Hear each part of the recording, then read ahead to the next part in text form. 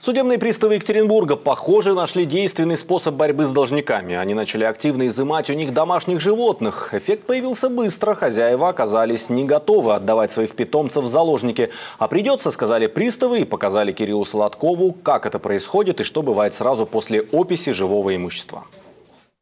Я напишу примерно стоимость 50 тысяч.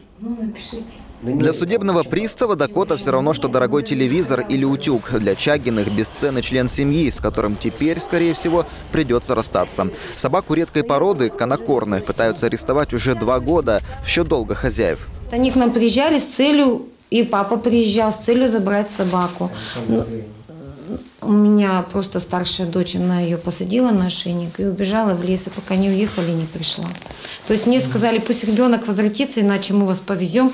Я говорю, ну везите меня, положила паспорт, вы поехали куда там, статья уголовная. В этот раз унести лапы Дакота не смогла. Собаку с потрохами сдал родной отец Ирины. Они с дочерью никак не могут поделить коттедж. Теперь животное под домашним арестом, на ответственном хранении. Если долг владельца не погасит в ближайшее время, Барбоса пустят с молотка. Но до этого, как правило, не доходит. Аквариум давайте тогда обговорим, когда вы сможете нам подготовить его, чтобы мы его вывезли. Брать в заложники не мебель, а животных приставы взяли в моду недавно. Эта практика стремительно набирает популярность. Ведь после ареста такого имущества должники готовы отдать последнюю рубашку, лишь бы вернуть питомцев. В доме этой женщины самое дорогое – аквариум с рыбками. На первый раз водяных не тронули, забрали только их домик. Но исполнители пригрозили – не вернете долг, арестуем и карпа. После таких угроз нервы сдают даже у злостных неплательщиков.